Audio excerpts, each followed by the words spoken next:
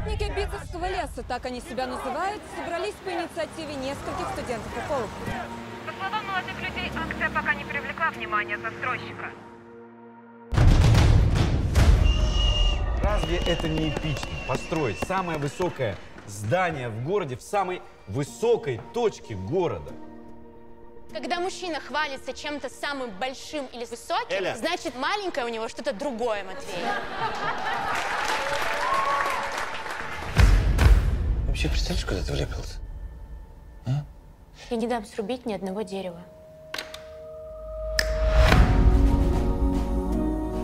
Ну тогда вперед. До конца. Рви.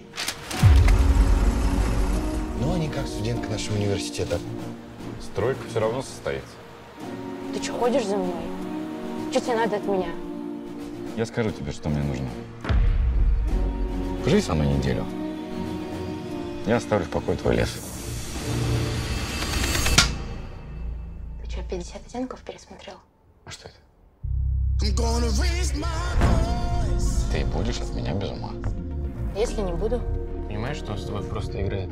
Тём, это я с ним поиграю. Молодец, девка. Тебя здесь насильно держать никто не будет. И я тебя не прошу ничего, что может причинить тебе вред. Только удовольствие.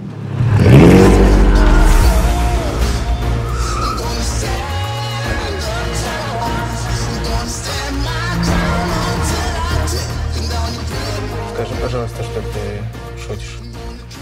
Все будет хорошо.